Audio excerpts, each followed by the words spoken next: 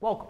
So what I have is negative x is greater than 1 and 1 half. And what I want to do is solve this by graphing it. So the main important thing is we need to isolate the variable. And when doing this, that comes up to an important uh, property of an inequality. And I'll get to that in just a second. So um, to solve this, we obviously know we have to solve for x. So if I have negative x greater than 1 and 1 half, to solve, I need to get rid of this negative sign, so I'm going to divide by negative 1.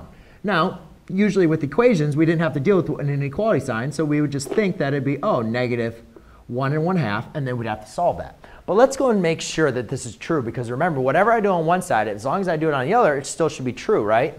Because if I said, let's say I had, um, you know, x equaled uh, negative 3, right? So if x equals negative 3, I could also divide by negative 1 and say negative x equals 3, right? And that's exactly the same thing.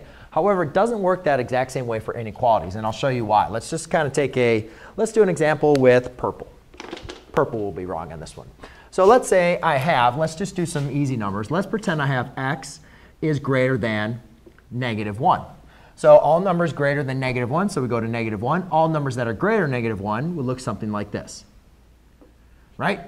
But what about if I now said divide by negative 1, and now I said the opposite of x, right, is now greater than positive 1.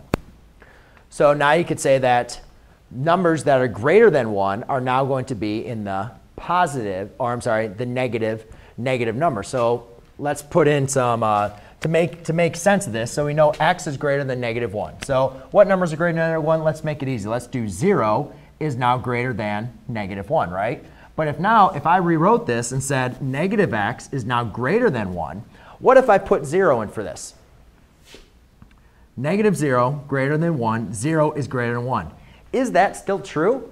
No. But all I did was I did the same operation. As long as you do the same operation, for equations it's true, but for inequalities, we can't apply the same operation with division and subtraction, or I'm sorry, division and multiplication of a negative number. When we divide by a negative number or multiply by a negative number, we have to swap the signs. So going back to my equation, x is greater than negative 1. You plug 0 in for that, that's true.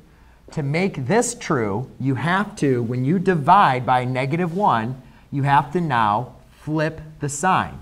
So if I was to just do that and flip the sign, when I plug this in for a 0, this now is also true. So to keep the inequality true, whenever we multiply or divide by a negative number, we have to make sure we flip the sign. So therefore, that is not true.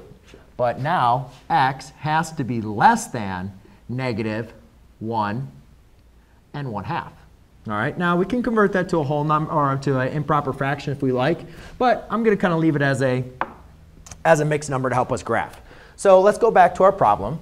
And in this example, we now have x is less than 1 and 1 half. So let's go to negative 1. And then 1 half would be halfway over to negative 2. So we're going to have a point right here, right? And what I like to do is once I pick my point, or wherever my point is going to be, I want to pick three test points. I want to pick a test point to the left. So negative 3 is less than negative 1 and 1 half.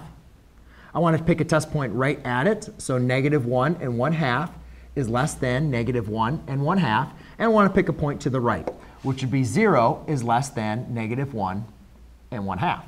And then we just go through and determine what is true and what is false. So is negative 3 less than negative 1 and 1 half? Of course, if you owe somebody $3, that's owing them a lot less than owing them $1.50, right? Or a dollar and a half a dollar.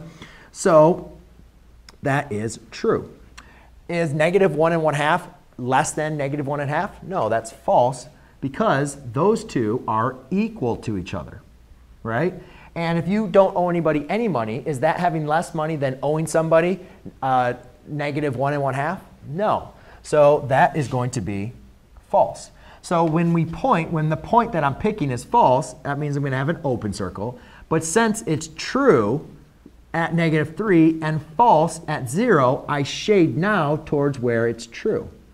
So my final answer is going to be an open circle at negative 1 and 1 half, and then shading to the left. Hope you enjoyed. Thanks.